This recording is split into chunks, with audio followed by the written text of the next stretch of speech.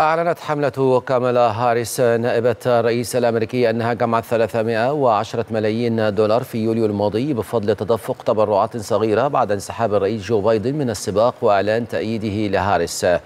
وقالت الحملة إن الرقم المسجل في يوليو هو أكثر من ضعف المبلغ الذي جمعته حملة المنافس الجمهوري دونالد ترامب في نفس الشهر وهو 100 و100 وهو 138.7 مليون دولار.